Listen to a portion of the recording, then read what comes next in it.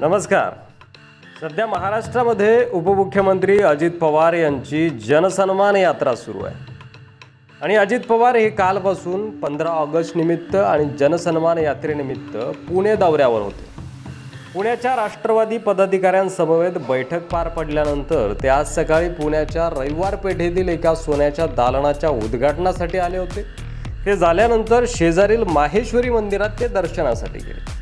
ते झालं असं की त्या ठिकाणी प्रवेशद्वारावरील अस्वच्छता पाहून अजित पवार यांनी मंदिर समितीच्या सदस्यांना चांगलंच झापून काढलं.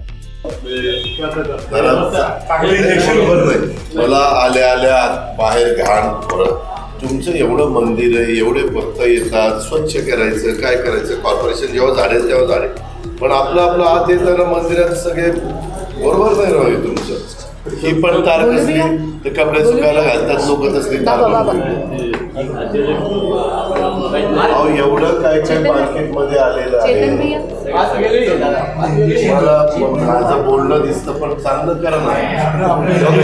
तिकडे काय वायरी लोकताय असं म्हणत अजित पवारांनी तिथल्या व्यवस्थापकांना आणि सदस्यांना चांगलेच खडे बोल सुनावले त्यामुळे पुन्हा एकदा महाराष्ट्राला दादांचा रागीट स्वभाव बघायला मिळाला. यावर तुम्हाला काय वाटतंय? तुमचं मत कमेंट बॉक्समध्ये लिहायला विसरू नका. मराठी मंडळीवर नवीन असाल तर सबस्क्राईब करा.